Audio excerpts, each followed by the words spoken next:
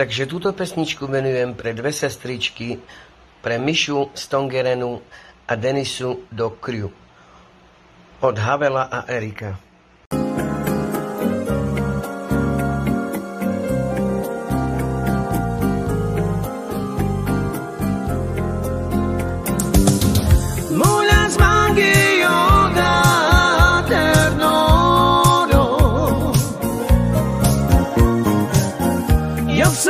你说。